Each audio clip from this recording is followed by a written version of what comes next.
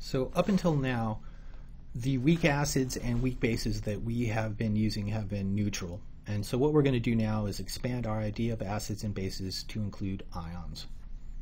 To better understand this idea, we need to look at the equilibrium um, of a weak acid such as HF. So here we see HF giving up a proton to form its conjugate base F minus, and there is a corresponding Ka for this reaction. One of the things we need to remember uh, we call F minus a conjugate base, but F minus is actually um, basic, such that if we were to put F minus into a solution, the solution would become basic. So now we need to take a minute and understand how that happens and how we can do some calculations with this. So if I want to put F minus into solution, I got to remember I need to have a positively charged species along with this. I need to make it as a salt. So typically the conjugate bases of weak acids like F minus are um, paired up with group 1 metals to form salts. So you get things like calcium fluoride or sodium acetate. They don't necessarily have to be group 1 metals, but they are the most common.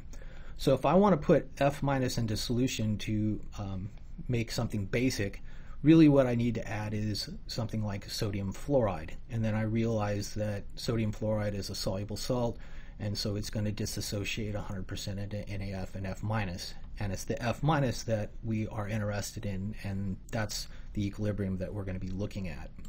So if I have just F minus, um, it's going to react as a base. We're going to have a KB reaction. So F minus reacts with water to form now uh, the conjugate acid, which is the original weak acid. So F minus grabs a proton from water to form HF, and in doing this, we end up forming hydroxide. So remember, uh, it's a KB reaction because we are producing hydroxide inside of it.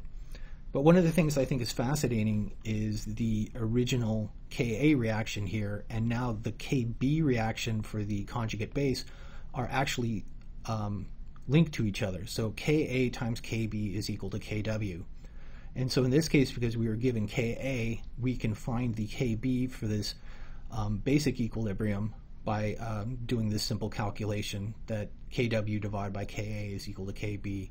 So um, Kw is a constant, Ka was given, and so we were able to find this Kb. So let's go ahead and do a simple calculation utilizing this idea. So we want to find out what the pH of a solution of NaF is.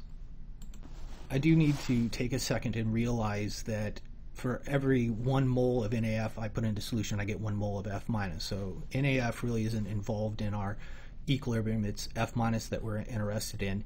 And in this case, it's a one to one mole ratio. So if I have two molar NaF, I uh, have two molar F minus. But sometimes you need to check this. Sometimes the ratio uh, may be slightly different. But really, what we're playing around with is a 2.0 molar of solution of F minus. So we know this is a Kb reaction. F minus is going to react with water to form HF. It's going to remove a proton, and in doing that, we're going to form hydroxide here. So we know this is a Kb. So what we do is we assume that our 2 molar of F minus, X amount of that's going to go away to form X amount of HF and X amount of OH minus. we write the Kb equilibrium expression, products divided by reactants. Remember, water doesn't make it, and we put this theoretical value into our Kb expression. We then go ahead and assume x is small and solve for x. So this x goes away. Um, we multiply both sides by 2. x times x gives us x squared. And then when we take the square root, we get uh, x, which we've designated up here as being the concentration of hydroxide. Remember the question asked for the pH though, so what we do in this case is we go ahead and find the pOH, which is negative the log of the concentration of hydroxide, and then we realize that the pH is equal to 14 minus the pOH. So in this case, the pH is 8.7. And that makes sense because we are playing around with a base. We would expect the pH to be greater than 7. We would expect the solution to be basic.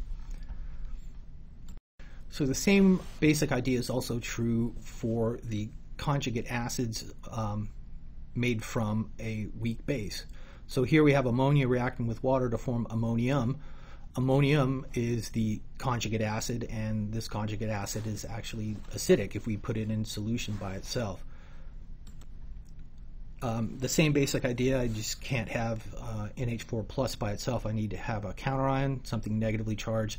So most of the time that's like a chloride or a bromide. There are some other things that you can use as, as the negatively charged species. But if we add um, ammonium chloride into solution, the ammonium chloride disassociates, and now the ammonium reacts to have a um,